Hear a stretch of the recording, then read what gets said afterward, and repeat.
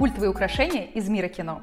В фильме «Красотка» на шее у Джулии Робертс можно увидеть роскошное колье. Оно было изготовлено специально для фильма. На нем 23 грушевидных рубина и россыпь бриллиантов. Стоимость этого ожерелья составила около 1 миллиона 350 тысяч долларов. Кстати, сцена, где Ричард Гир шутливо закрывает футляр с колье, была экспромтом, но она получилась такой естественной и так понравилась режиссеру, что ее решили оставить.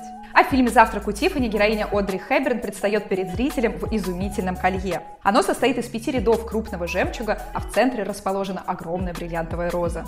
Сегодня это колье носит название «Рапсодия», и по некоторым данным оно оценивается в 3 миллиона долларов. Ну и, конечно, разговор о самых знаковых украшениях мира кино не может обойтись без упоминания ожерелья с сапфиром в форме сердца из фильма «Титаник». Считается, что прототипом ожерелья из фильма стал алмаз Хоупа стоимостью 250 миллионов долларов, изначально принадлежащий Людовику XIV. А для фильма было создано относительно недорогое украшение за 10 тысяч долларов.